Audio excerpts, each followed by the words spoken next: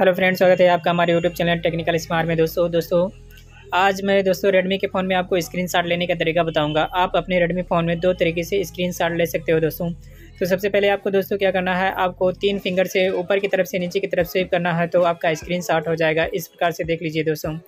आप तीन फिंगर से ऊपर की तरफ़ से, नीचे की तरफ़ सेव करोगे तो आपका स्क्रीन शॉट हो जाएगा। ये रहा पहला तरीका। और दूसरा तरीका दोस्तों, इसमें आपको क्या करना है वॉल्यूम डाउन बटन और पावर बटन दोनों बटन को जब एक साथ आप प्रेस करोगे तो भी आपका स्क्रीन शॉट हो जाएगा। चलिए आपको करके दिखाता हूँ।